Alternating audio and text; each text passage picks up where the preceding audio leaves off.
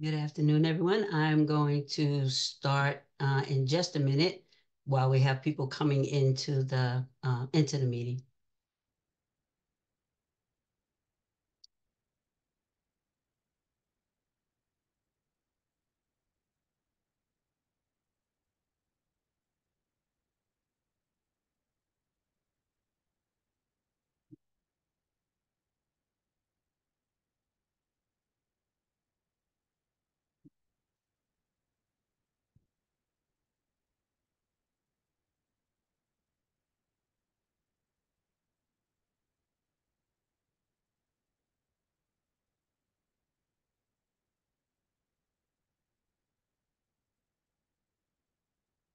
Well, good afternoon, and thank you for joining us today. My name is Kim Ramsey White, and I'm the Associate Dean for Inclusive Excellence here in the school in the Gillings School of Global Public Health. The Offices of Global Health and Inclusive Excellence launched this seminar series uh, this year in collaboration with the Office of Inclusive Excellence at Gillings. The seminar series is designed to host speakers who can talk on issues that sit at the intersection of global health and inclusive excellence. Today's, so, today's session will focus on strategies to reimagine and decolonize global health training in the US and internationally. Our panelists will give brief presentations and then we'll have time for Q&A. Now I'd like to turn it over to Dr. Suzanne Maman. Thank you, Kim. Thank you for um, joining me in this um, joint seminar series. I'm very excited about this one today. Um, I'm going to introduce our speakers and our moderator, and then I'll go off screen and let them present. So we have Dr. Matthew DeCamp joining us as an associate professor in the Center of Bioethics and Humanities at the Division of General Internal Medicine at the University of Colorado. Dr. DeCamp uses empirical and conceptual methods to identify and solve cutting edge problems at the interface of healthcare, policy, and bioethics. A special emphasis of his research is global health and human rights with a focus on short-term global health ethics and more recently, mass drug administration of antibiotics.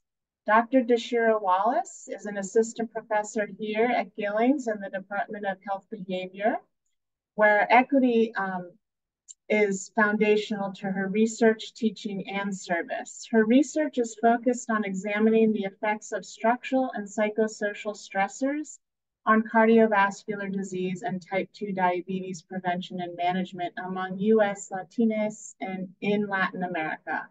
Further, she uses an intersectionality framework to examine risk factors, coping behaviors, and chronic health outcomes. We're also joined by Dr. Limbanazo Mindiera Matandika as a research fellow in the Center for Bioethics in Eastern and Southern Africa at Kamuzu University of Health Sciences in Malawi. An early career bioethicist and social scientist. Her, her current role with this center includes teaching bioethics to postgraduate and undergraduate students, consultation and ethics research of new and emerging issues. Her research interests include decolonizing global health, conflict of interest authorship, strategies that enhance informed consent, embedded ethics, and clinical ethics. And finally, today's session will be, will be moderated by Dr. Ben Chi, who's a professor of global women's health at UNC in our School of Medicine. Dr. Chi holds an appointment in the Department of Obstetrics and Gynecology and the Department of Epidemiology. He lived in Lusaka, Zambia from 2003 to 2015, where he developed an extensive research portfolio focused on the prevention of mother to child transmission, HIV care and treatment, and maternal child health. Alongside his research, Dr. Chi leads several training programs designed to foster U.S. collaborations abroad, including the UNC Global Women's Health Fellowships and the UJMT Fogarty Global Health Fellows Consortium. So it's my pleasure to introduce our speakers. First, we'll be hearing from Dr. Deshira Wallace. Thank you.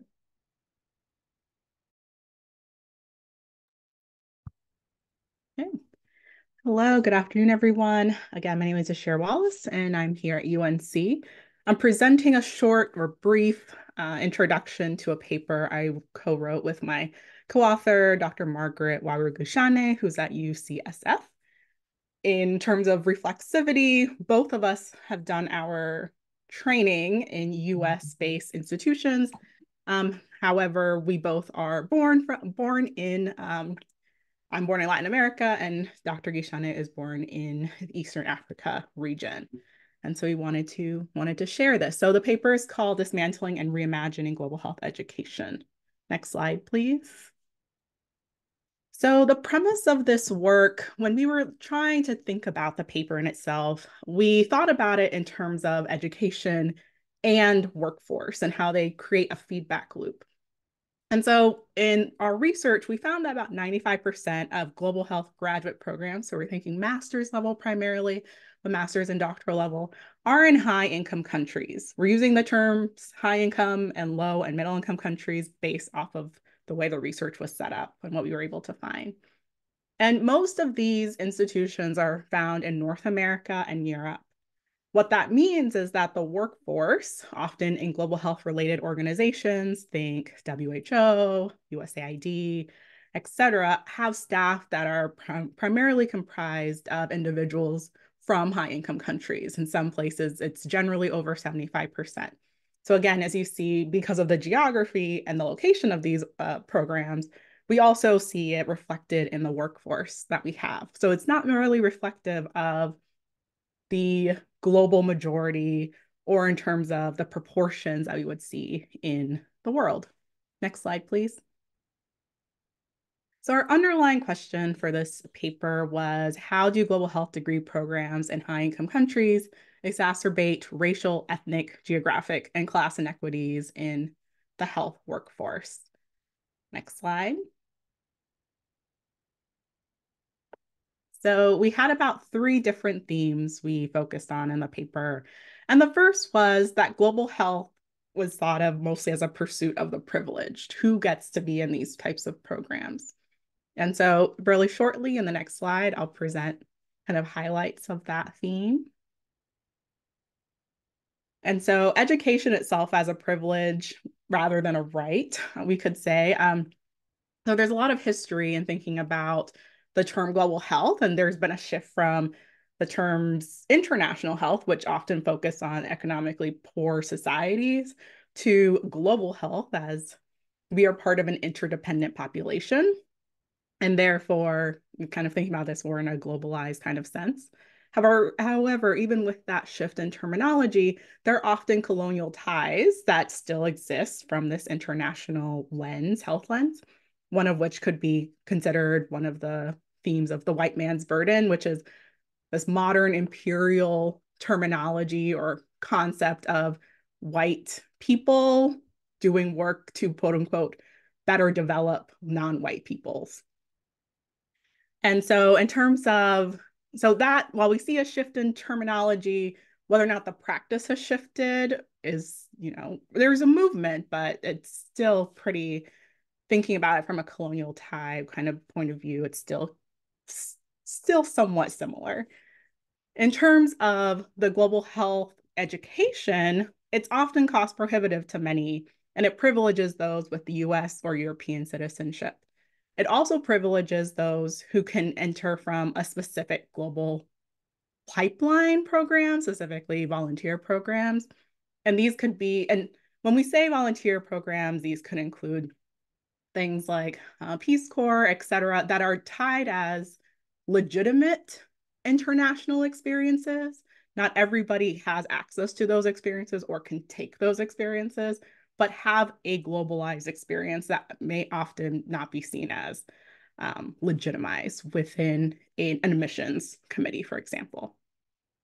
Um, other than this, I think one other thing to think about is we also mentioned in the paper kind of this visa or passport privilege, who can have access to actually going to different countries. When we think about documentation status, funding, et cetera, not everyone has the privilege to do certain activities abroad. Next slide, please. The second theme was high income country dominant curricula. And so for the next slide, Uh, most curricula center high income countries. So global health practice, uh, practica kind of still function to improve the health in low income and middle income countries. And so while that's often the case in terms of the knowledge coming from high income countries, low income countries, there is still a need for acknowledgement of how low and middle income countries can improve the health in all global settings. There is a link of South South information sharing, but also there are lessons to be learned from you know designated low to middle income countries actually improving the health also or the way things are done in high income countries. So that knowledge could be much more reciprocal. And in terms of you know we are in a university and and often look at our course syllabi but high income country authors are often centered in course syllabi. So that really informs knowledge generation and knowledge sharing who gets to be put on the syllabus, um, what types of information are put on syllabi. Does it have to be a peer reviewed manuscript? And if it is, does it have to come from, you know, particular regions as well? So thinking about how our syllabi are constructed and the formation of knowledge um, are pretty important as well when we think about kind of decentering high income country and high income country knowledge generation. Next slide, please. And lastly, we um, highlighted some aspects of community harms. Next slide. And most of the research on community harms has been done more on the medical side or medical mission side and less so on the non-medical missions, but there were areas of parallel. And so thinking about global practicum experiences of having the potential to cause harm to institutions or communities where trainees complete them is kind of the overall arching theme of this section. So programs have been doing better at pre-departure training. However, some of that training can remain a little limited. Some of it is kind of maybe focus on concepts of uh, cultural competency, although there's a shift in the term to maybe cultural sensitivity mostly i would say from my point of view i don't think you could become competent in another culture or even your own. It's it kind of feels a little like a tick like a check mark place. Um, so thinking about it more from a sensitivity point of view.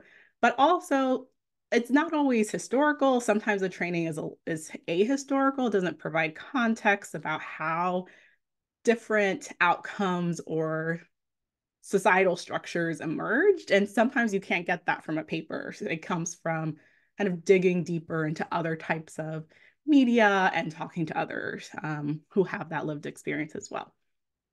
Uh, lastly, there are there is feedback from host countries that indicate that students coming from high income country programs may lack uh, sensitivity cultural norms and can be a bit extractive in terms of leaving without much follow up afterwards of what happened and what were the outcomes of that work.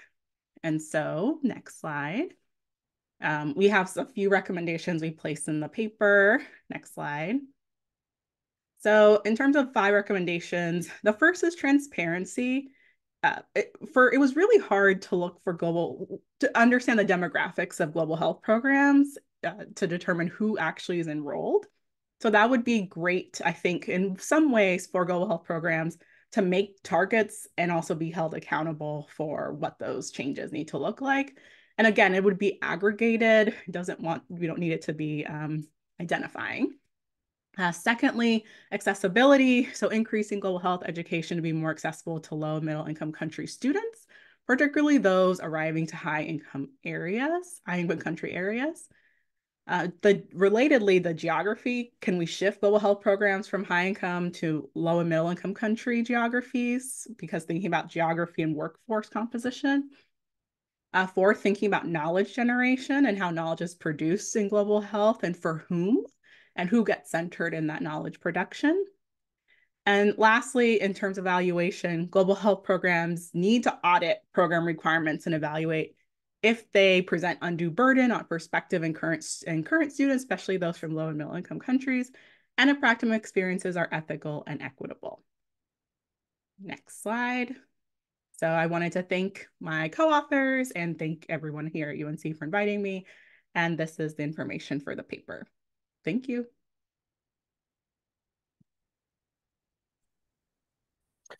Great. Thanks for that presentation. And thanks to all of you for the opportunity to be here. It's nice to see colleagues, uh, old and new. And I'm going to talk a little bit today about what I think of the role of bioethics and decolonizing global health concepts are as we help reimagine global health training. So I'm going to stay at a little bit of a higher conceptual, maybe theoretical level, really with the hope of setting things up for Dr. Matandika's talk that will immediately uh, follow me. So let's go to next slide. I'm going to try to answer three questions in about five minutes. And here are the questions. Number one is, do we agree on what decolonizing global health means? Number two is, should we agree on what decolonizing global health means?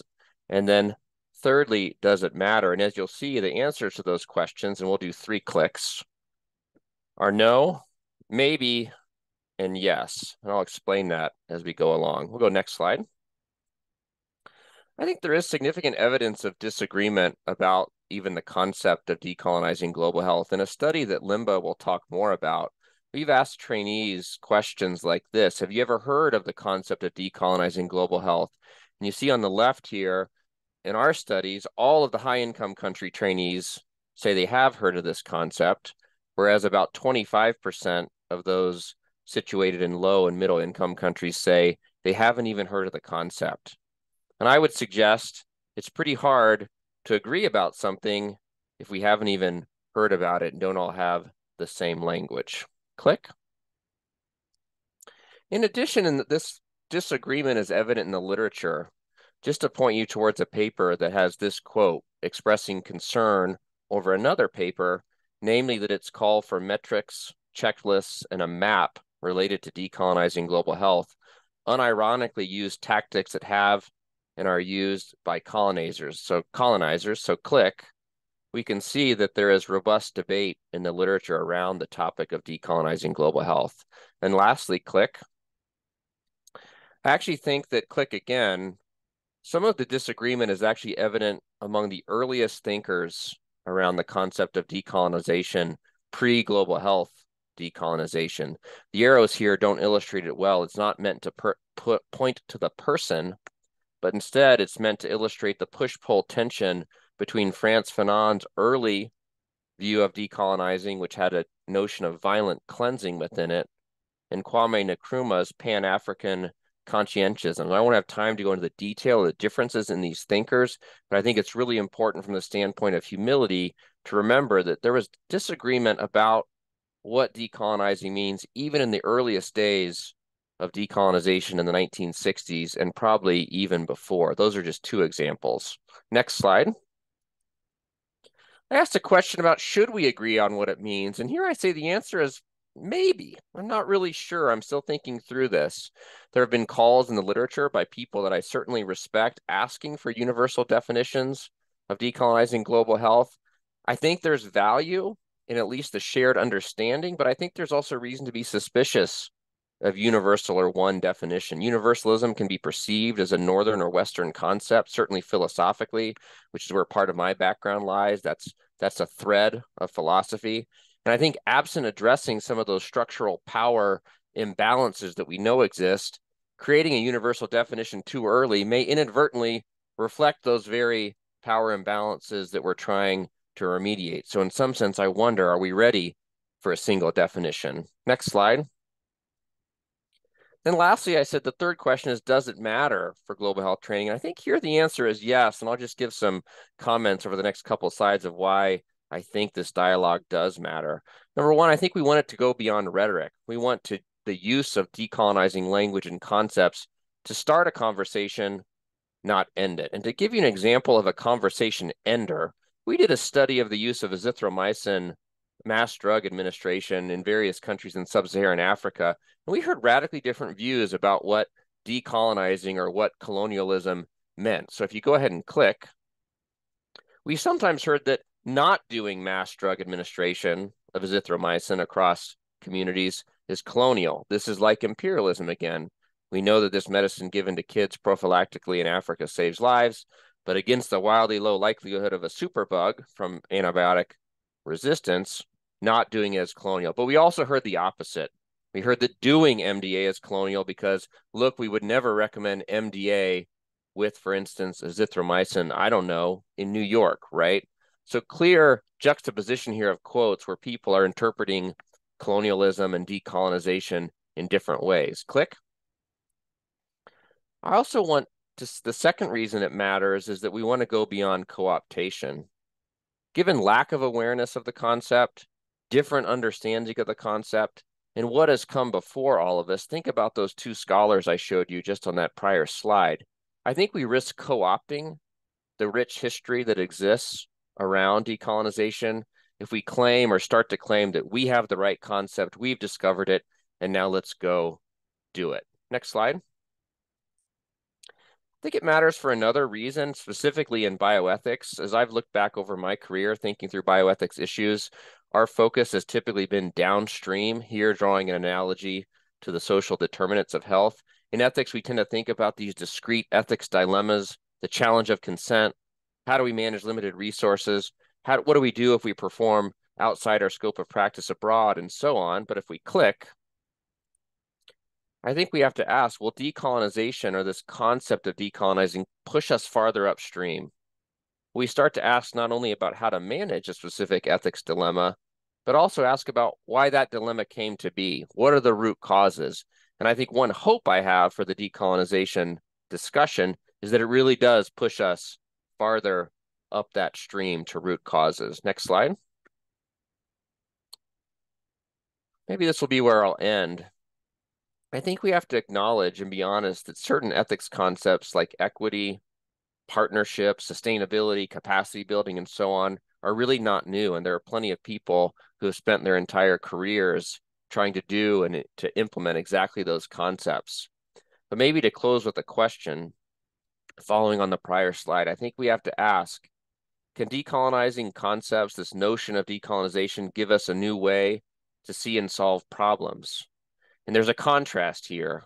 One, one part of the contrast is to see decolonization as an ethics lens, as a new way to see problems. But we also have to ask whether the language of decolonization and democratizing global health is really a fundamental paradigm shift. Will we one day start to question the very Western bioethics concepts at a deep and fundamental level that have often informed activities, even around bioethics globally, whether it's IRBs, research ethics committees, the principles of bioethics, and so on. So I'll leave you with that question and I'll ask to skip the next slide as I turn it over to Limba.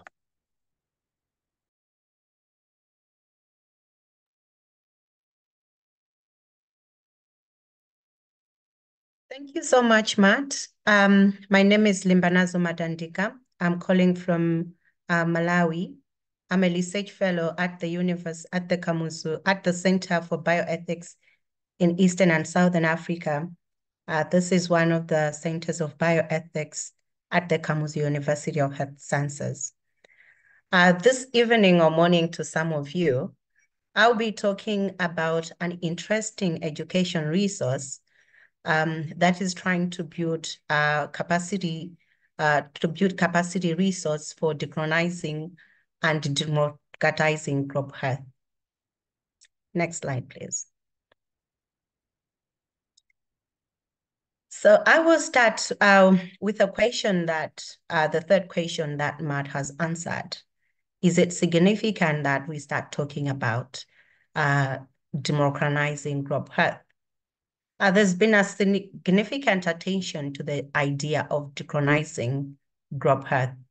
However, as Matt suggested, there is no consensus about what decolonizing global health means. And this has also seen a lack and a gap in educational resources that exist in order to provide uh, knowledge and also champion the discussion about decolonizing and democratizing global health. Next slide, please.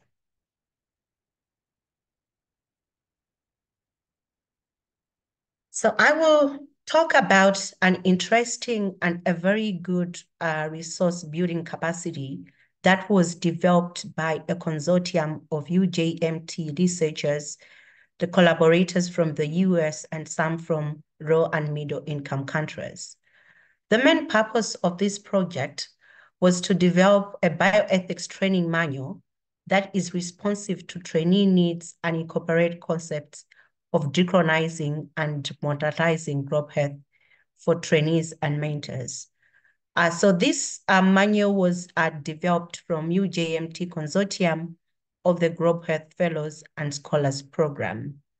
One of the interesting items that I would mention that came from this work was on how best we can define what decolonizing global health means. And from this work, uh, we have a paper that has been published. And I just took an abstract on what uh, the trainees and mentors had defined what what decolonizing global health is. And some of the definitions that come from this um, uh, uh empirical work is others defined decolonizing global health as eliminating power imbalances. And some of the themes that emerged were looking at prioritizing local needs. And others also discussed prom promoting local leadership, providing equitable opportunities for all, and also ensuring programs that are culturally appropriate. So from these uh, different uh, definitions, we can understand that there is no definite definition about decolonizing global health, but what remains important are the outcomes emerging from decolonizing global health. So from the UJMT work, uh, in developing a manual, I'll take you through some um, of the initiatives or the steps that we took to develop this interesting uh, resource that aims at uh, providing knowledge and also skills for different global health trainings. Next slide, please. So this manual was developed in a, an iterative um, approach. Uh, we had uh, involved uh, trainees from the UJMT Scholars Program that were enrolled in 2017 to 2022. And from online surveys, we had um, approached 111 trainees, and we only lost two who never responded to the survey. And we had also included 89, 91 uh, mentors, but we got response from 89 mentors. And from the online survey, uh, what we did was to prioritize what would be the content areas that the trainees would want to talk about, especially uh, on what kind of educational uh, content they would need in the area of decolonizing global health. And from the online survey, we went ahead to conduct semi-structured in-depth interview. This uh, approach allowed us to elicit real-world scenarios from different trainees that have been practicing uh, from low and middle income countries and others that have also uh, been practicing in high income countries. And from uh, by eliciting real world scenarios, uh, we came about uh, developing different cases that emerged from the interview and the surveys. So we had, after this manual has uh, four cases that reflects real life uh, experiences of different global health fellows. And from the cases, we have developed uh, this manual that could be used as a teaching material. However, lastly, I'll talk about the aspect of getting feedback on how best we can improve and also how best we can make sure that this teaching material uh, is being used in different global health uh, training programs. Next slide, please. So uh, from the online service, we got a lot of um, areas that uh, were stipulated by trainees and mentors to be prioritized. However, uh, we had identified a few case topics. So from the empirical data that we had collected, trainees were asked to prioritize areas that they needed to be included in the training manual. Another interesting thing about the development of this training manual was a multidisciplinary approach that we had emphasized of making sure that we have applied uh, bioethics real-time uh, ethics experiences of trainees that allowed us to develop a, a, a manual that is very practical, giving out real life uh, scenarios of trainees and mentors and providing innovative approaches to encourage engagement and also learning. So some of the cases that were prioritized, um, the first case is looking at access and ownership of research data and also the scope of practice and moral distress. We're also looking at real life experiences of cultural differences, informed consent and power dynamics in partnership. And lastly, the manual also discusses issues of ownership, authorship, and giving credit where it is due. I just want to highlight um, the very important aspect of this manual. So this manual is designed in a way that you have a case, every case has different objectives, what each trainee would benefit from that case. And also it allows trainees to reflect, to have different reflections on how best they can handle different ethical dilemmas and ethical issues in their, uh, in their training and practice. Next slide, please. Lastly, I would like to encourage everyone who is interested in decolonizing global health uh, to get hold of this training manual as one of the strategies, as Matt said, that we need to provide uh, audiences or an environment where we could start talking about decolonizing health. I understand that uh, starting discussions or having conversation about decolonizing global health is also um, a major step in making sure that we are putting uh, the discussion of decolonizing global health into practice because there is a lot of knowledge among scholars in low and middle income countries. Thank you. Next slide. Lastly, I would like to acknowledge uh, different um, authors. Uh, firstly, I would mention about Lascelles Barrett, uh, Benjamin uh, T. Lameck Chinula, myself, Matt, Marlene, and Vari, who were part of the authors and the developers of the manual, and also to mention our acknowledgement to the technically advisory panel that were available uh, to give us guidance on how best we can uh, develop the manual and to the our illustrator Sydney who was able to develop the manual.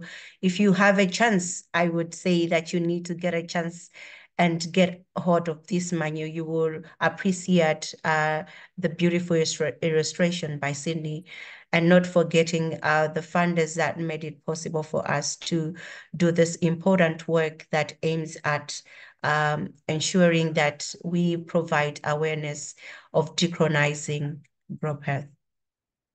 Next slide. Thank you so much.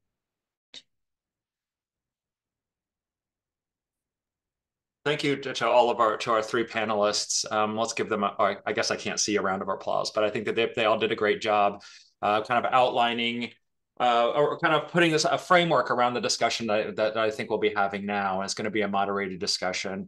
Um, I was introduced earlier. I'm Ben Chi, professor of OBGYN and epidemiology uh, here at UNC. Um, I do have a few questions, and, and maybe we'll get started. A few of you have um, have put in uh, questions in the Q and A. I would encourage you to continue to do so, and we'll try to weave them in into this discussion um, where possible.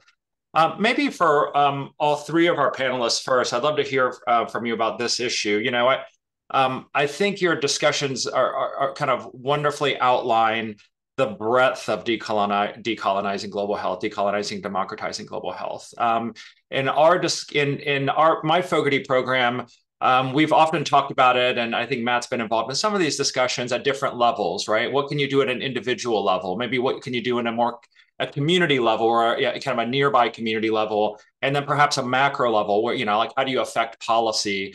Um, how do you affect major change? You know.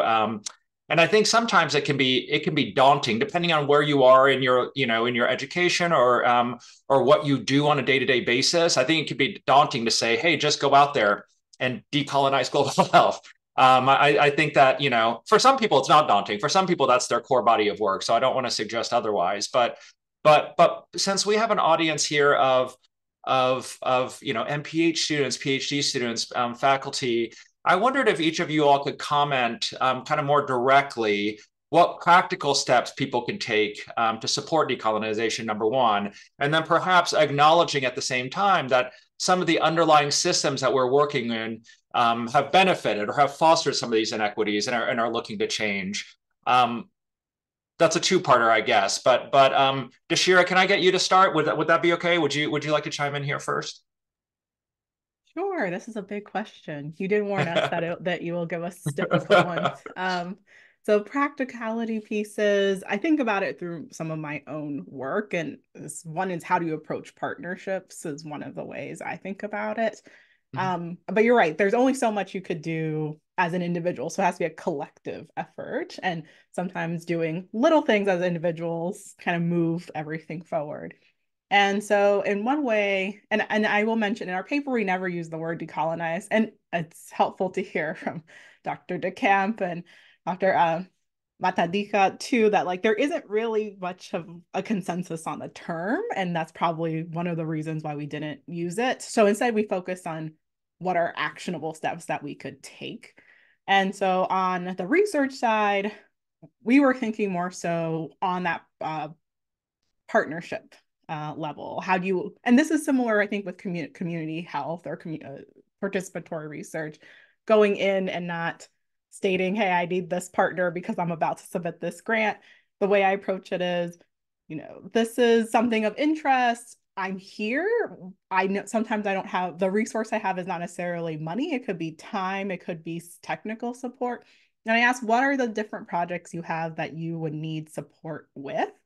And that's how we start. And we actually think about how do we work together and do we work well together? And that could take several years before anything comes up together in terms of a grant or a practicum site or etc i'm also kind of particular about who gets into teams depending on who the population of interest is.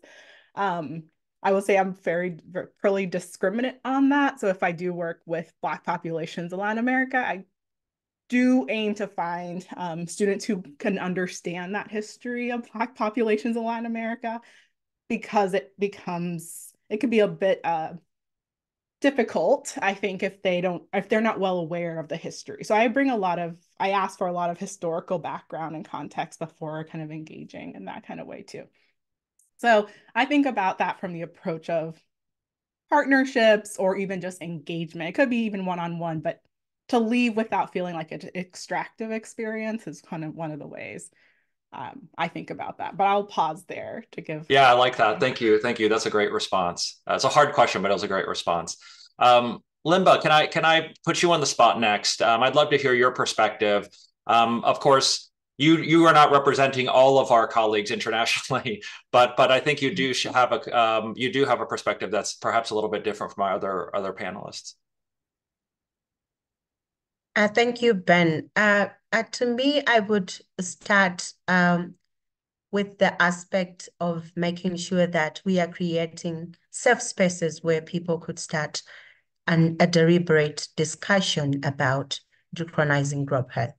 Uh, because to me, I understand when you have a safe space and people are able to discuss these issues, everybody would be able to listen to themselves. So it's a matter of understanding the perspectives of different people on how they define or perceive what decolonizing global health is all about and how best can we decolonizing different practices? How best can we provide a level space? How best can we provide a meaningful partnership? So to me, the best practical step to start would be to allow that safe spaces have been created and people have been given an opportunity to discuss these issues. And another um, interesting or maybe another practical way is to make sure that people do have educational resources. Uh, so a good example uh, is the manual that I have talked about. If you look at the manual, the way it has been designed, it allows scholars, trainees, or group uh, practitioners to have a deep reflection about their experiences. So I believe that if people have been have been given access to knowledge and educational materials and they are able to reflect, I believe we could be in a better space and having steps forward to decolonizing health. Let me end there, Ben. Thank you. And and Matt, any any any additions here? Maybe just quickly, I'll, I'll second what Limba said and what's been discussed about education and awareness. You know, I think that's one thing. I, I come to this discussion with a lot of I really try to bring humility about some of the prior scholars that have discussed this issue long before I or we in global health discovered it. Um, and I think incorporating that is really important. I saw a question about it in the Q and A, incorporating that into syllabi and such. Maybe like Deshira mentioned too. I also think at the individual level, I've heard when I've talked to trainees and students, I've heard some of them very eager to use these concepts to ask hard questions you know, sort of not just what do we do right now, but how did this come to be? What is that historical shadow that's cast by history onto our present actions? Even to the point at the individual level, connecting it to advocacy, where people have said, look, I'm going to think about these concepts and I'm going to use them to decide to participate in this program and not that program.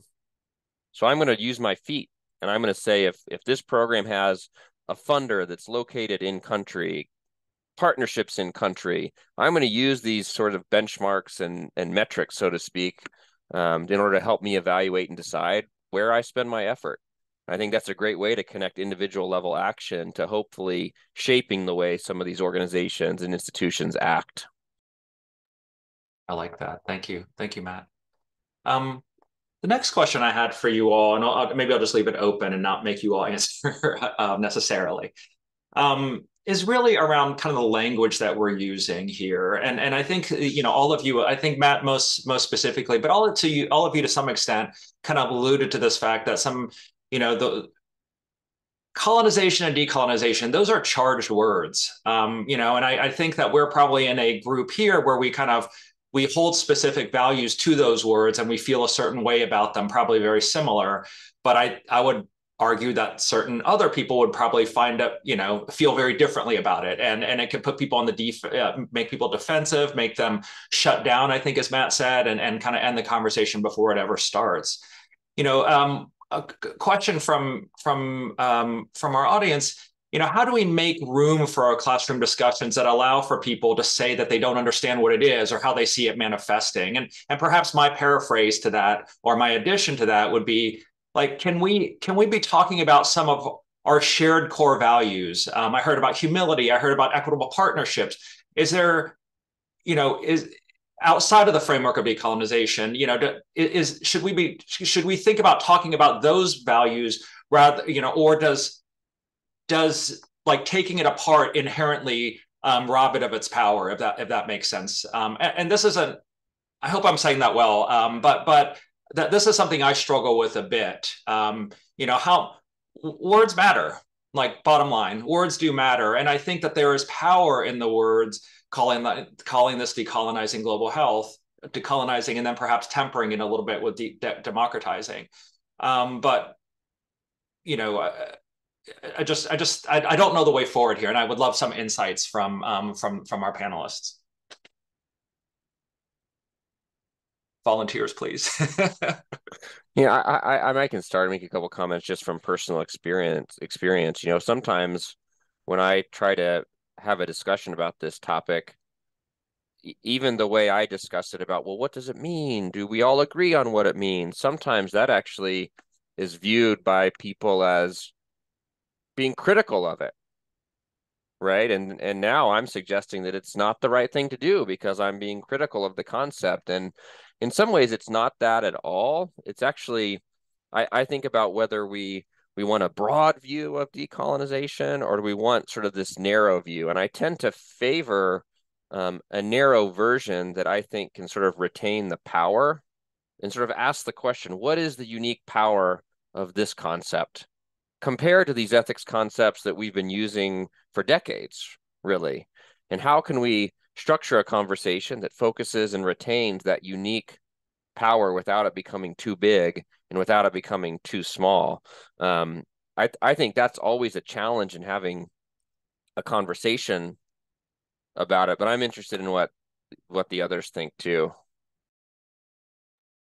Yeah, I think for me in the classroom, uh, I spend a lot of time talking about colonization and imperialism and how that has created forces in which we now have these observed health inequities. So thinking about it from our public health side of things. And students really resonate with that. And what I do is I spend a lot of time on historical texts and different types of reading materials. And we also have examples across multiple uh, countries as well, mostly to see like the through line. Like this is not just in one area of the world. This happens in multiple spaces, colonization from Spaniards and Portuguese and the Dutch, like all of that really ends up having a, a nice through line.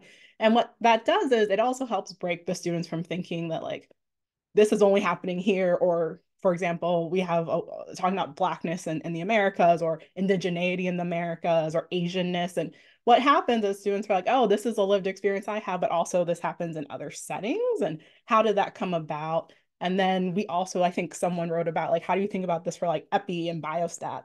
Well, we spent several weeks talking about the history of statistics and how it's coming from eugenicist kind of background and students are like this is great. I didn't know this. And also like they struggle with like how do we then keep going and approach this in the future? And we think about it from well sometimes you can still use the methodology but be careful about how you interpret. So and be really specific about how you interpret and don't leave too much room for others to make grand interpretations on your work because that happens. So that's what we talk about like very practical skills and we i found the conversations be particularly fruitful from like that historical sociological anthropo- anthropological point of view and then tying it back into kind of present day public health. So perhaps method. Yeah thank you. Uh, Limba, any thoughts to share? Looked like you had a visitor in your background there.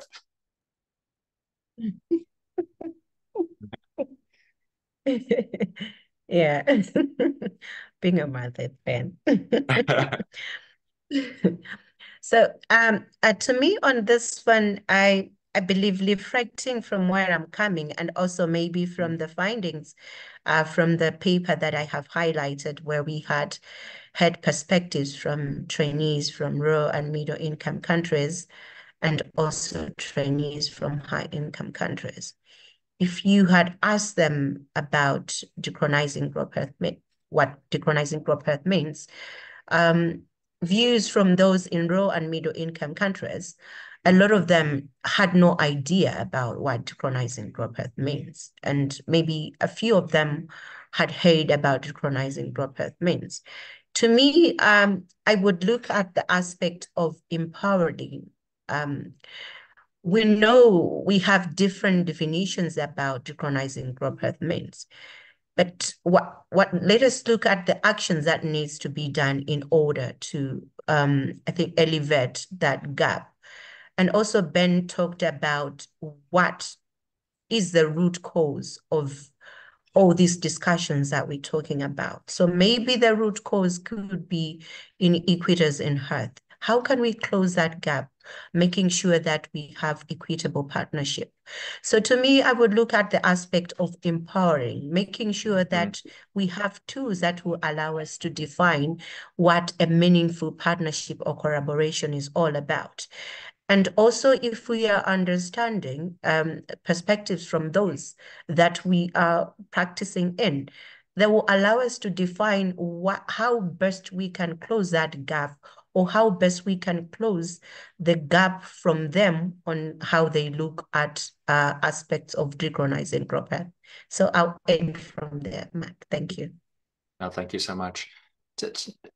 Maybe I could hear from the panelists a little bit more. You know, we're we're we're speaking at an event at the School of Public Health, and um, you know, there's been a lot of discussion on the chat as on the Q and A as well, just about how we should be changing our curriculum, or if and if so, if yes, how um, we might uh, change our MPH curriculum uh, around global health to, to incorporate some of these themes. I think some of this is ongoing and, and, you know, to share in some of the things you said, absolutely so.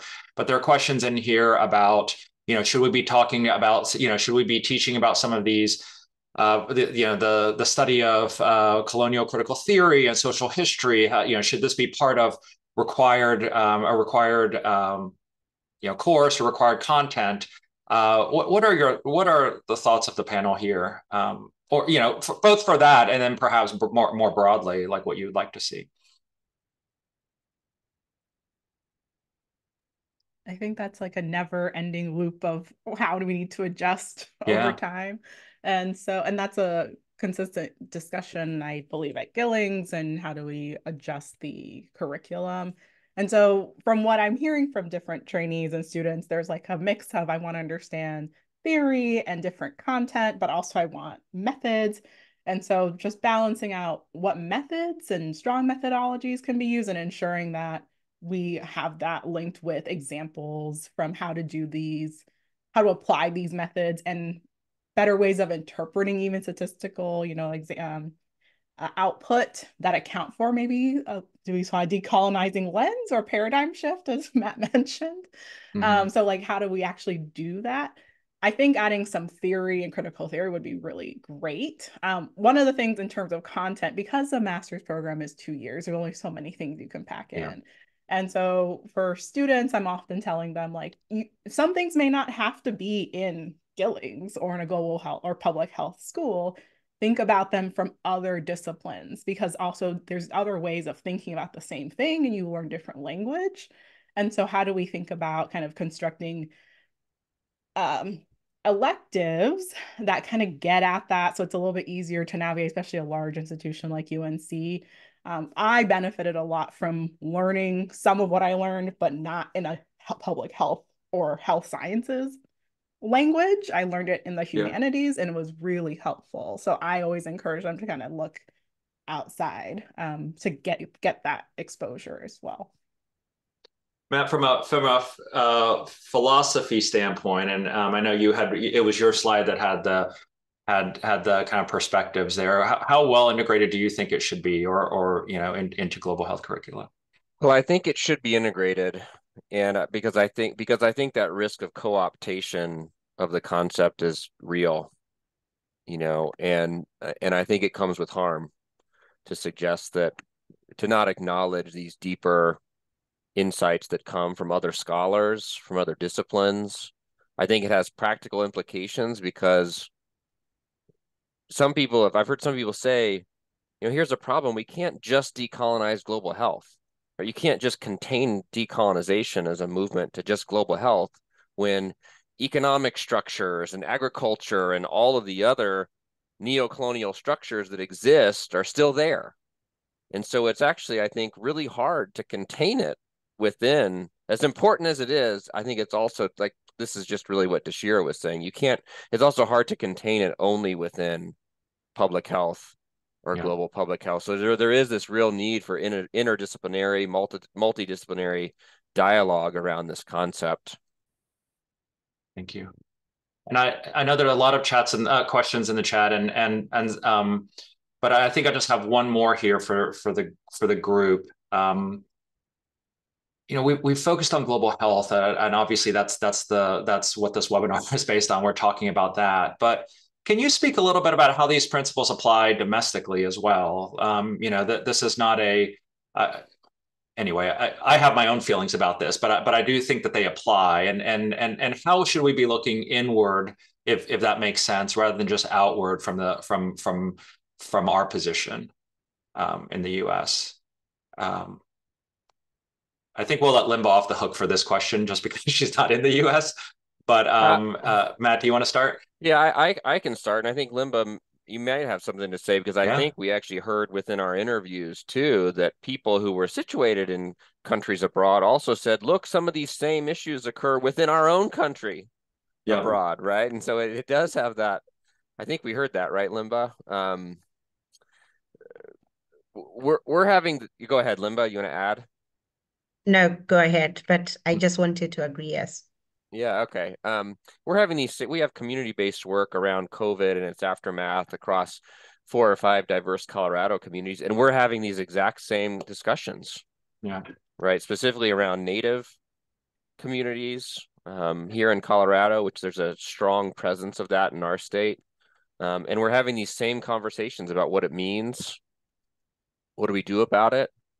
I think everyone recognizes the concepts apply and are having some of these same struggles around Um, what what what does it mean for us, and what do we need to do about it? I don't know. That doesn't answer your question. I think it more rephrases it, but just to say, with practical experience, we're facing this for sure within our local work in Colorado. Yeah, thank you. Yeah, same. I think I use really similar approaches here as well and in the United States. And, and in the paper, we talk about how thinking about this from like a global health, but it still feels international healthy perspective. One makes the assumption the United States isn't part of the world. And yeah. so the United States is part of the world. So there is this push and pull of what and, and again, there's lessons learned. We look at the disparities and equities in the United States, and they're very much engineered, and they're constructions of colonial and kind of continuing colonial processes that are evident um, in the country. And so Yes, I agree. And one of the questions here was talking about, you know, we focus a lot on trainees, but what happens if you're looking at non-governmental yeah. organizations? I will say a lot of this paper came about with um, Waru and I talking about our, our experience with non-governmental organizations in the United States and how sitting in the room, I would be at USAID and like everybody there is a white person talking about doing work in Latin America and the Caribbean. We didn't have any real representation from people from those countries and just seeing the back and forth of who got access to power and being in positions of power was one of the reasons we actually delved into this paper and we talked about education but also the that feedback loop into the workforce and how the workforce just ends up being very much siloed and different from what I would have thought of in terms of a more diverse workforce going to something like public uh, global health. Yeah, no, thank you. Thanks, thanks for those perspectives. Um, Limba, do you want the last word here, or, or um, are we? Are just a few, maybe. Okay. um, um, so I, I, I wanted to um agree that um maybe this needs a holistic um overview, but to me, the basic thing is to look at the overall principles that encompasses decolonizing global health, because that allows you, regardless of the context, whether be it in global health or maybe in economics, but the aspect of supporting uh, for example, supporting um, maybe local partners and also being in humility where you've been embedded and you are able to understand the context, you are able to understand perspectives and behaviors that allows people to design interventions that will be able to provide solutions that are respectful uh, enough in the context that they are practicing. So I understand the underpinning principles doesn't matter whether it's in global health or in different professions, but yeah. it underpins how best decolonizing global health could be achieved. Okay, well, well said, Limba. So why don't I know we're just a couple minutes before the top of the hour, um, uh, but I think we'll close here. I want to thank our panelists um, for their their their presentations and also their insights. Um, thinking on their feet when I ask them hard questions. Um, and uh, I want to uh, also thank our attendees. I mean, I think we had up to 80 or maybe 90 attendees altogether. Um, uh, I think it goes to show, and, and of course our organizers, apologies, um, who who kind of put this together. I think it shows that this this topic really resonates, and and I hope I found it very fulfilling. I learned a lot from from everybody, and um, I hope you did too. Um, so thank you, and uh, have a nice afternoon.